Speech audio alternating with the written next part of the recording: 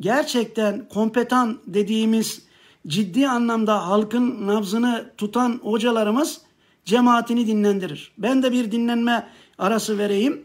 Kuzey Kıbrıs'tan bir hatırayı yad edeyim. Örneğin Ankara'da Rıza Çöllüoğlu hocamız bu tip hocalardandır. Örneğin Bartın'da İhsan Yazıcıoğlu hocamız böyledir yani. Dinlendirir yani. Hep bir ayet, bir hadis zikreder ardından bir hikaye, bir darbu mesel, bir menakıb zikreder.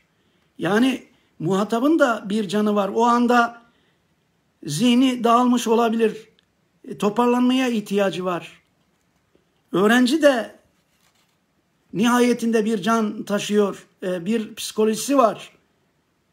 Doping lazım ara sıra.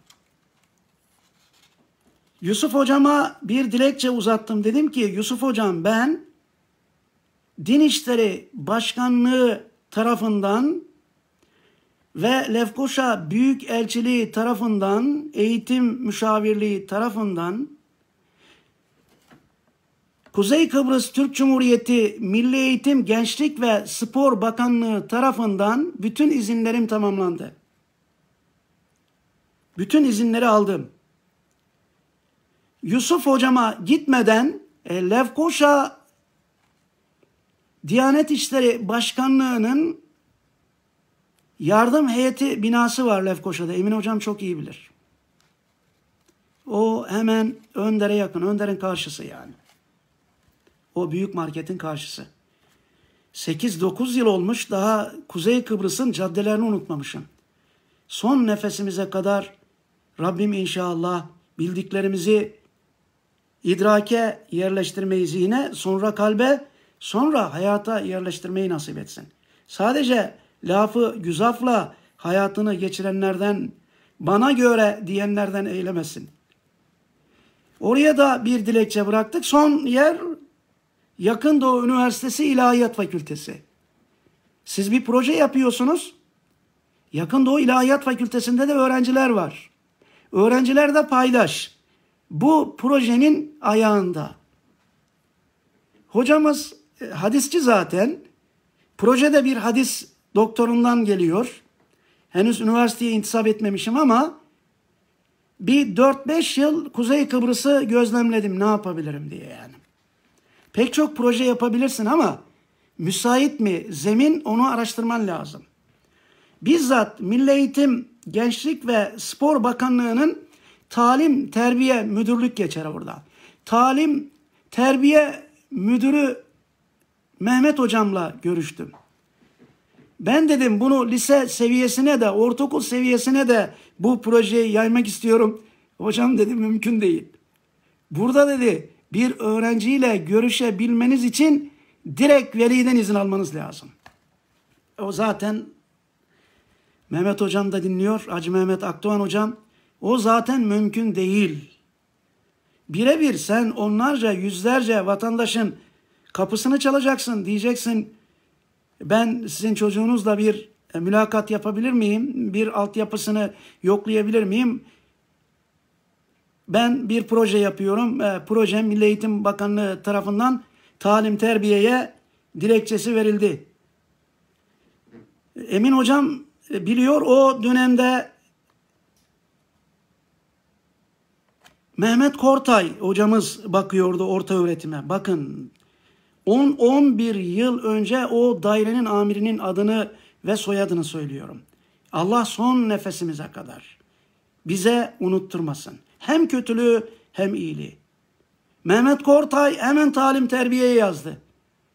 Dedi yani hocamıza yardımcı olun.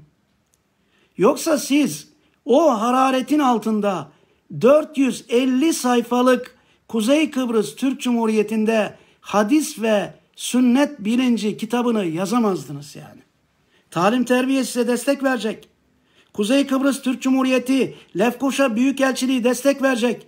Oranın Diyanet İşleri Başkanlığı, Din İşleri Dairesi destek verecek. Yakın Doğu Üniversitesi İlahiyat Fakültesi destek verecek. Altı bölgede bütün hocalarımız bizim projemize gönülden katılacak. Bu kitap ortaya çıkacak. Şükürler olsun. Allahu Teala bizlere bu kitabı 2018'de neşretmeyi Ankara Okulu Araştırma Yayınları tarafından nasip etti. Öyle hani dersin başında işkembeyi kübradan atmak kolaydır. Ben bunu yaparım. Kolay mı? Ta Gazi Magosa'dan Lefke'ye kadar gideceksiniz. Muhittin abi ayrılmış olabilir. Dersin başındaydı. Muhittin abi hadi dedi Lefke'ye gidelim. Oradaki türbeyi de bir ziyaret edelim. Biz gezerken sen de projeni yap. Lefkoça'dan çıktık. Araba bozuldu. Muhittin Bolat abi diyor ki kitapta var. Kitapta ilk bölümde yazdım. Hocam diyor sen güzel yurta gidemezsin. Gitsen zaten yetişemezsin. Dedim ben söz verdim. Oradaki hocalarıma gideceğim ben. Araba yolda kaldı. Hadi dönelim diyor Gazi Magosa'ya. Hayır. Allah'ın izniyle gideceğim. Ya hocam nasıl gideceksin? Sen güzel yurta gideceksin. Güzel yurttan da bir de Lefke'ye gideceksin yani. Allah işimizi rast getirdi. Öğle sonu saat 14'te verdiğimiz randevuya yetiştik.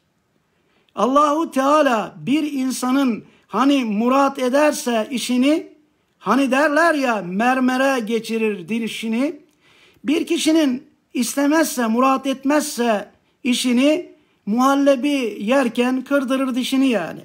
Allahu Teala elhamdülillah yardım etti ki Emin hocam böyle bir eser Kuzey Kıbrıs'ta neşvu nema buldu ve sizin dersinize girmiştim. E, hocam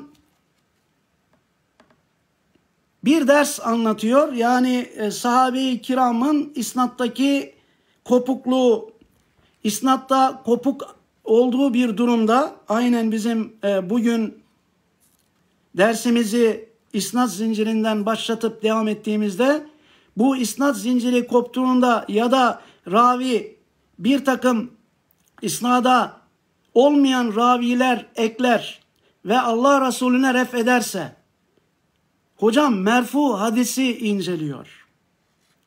Dedim Yusuf hocam ben dersinizi dinleyebilir miyim? Yusuf hocam da şu anda Yakın Doğu Üniversitesi İlahiyat Fakültesi doçentlerinden. Aynı dönemde hocamla doçentliğimiz ilan edildi elhamdülillah. Yusuf hocama da selam ve hürmetlerimi sunuyorum. Bizim abimiz oranın Din İşleri Başkanlığını yapmış yakın doğuda bir hadis doçenti.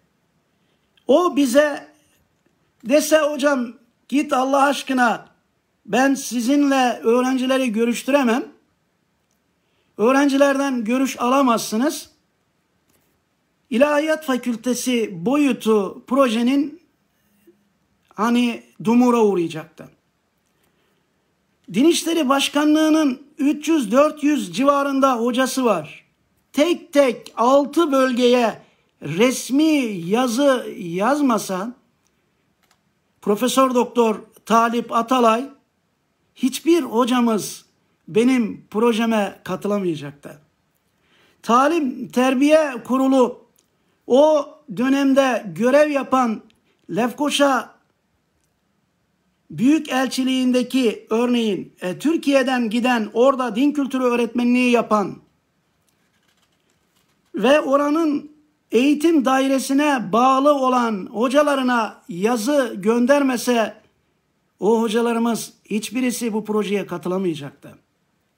Mehmet Kortay hocamız o dönemin orta öğretim daire başkanı talim terbiyeye yazı yazmasaydı Kuzey Kıbrıs Türk Cumhuriyeti'nden hiçbir hocamız bu projeye katılamayacaktı. Demek ki bize hem devlet en üst kurumlarla projemize sahip çıktı.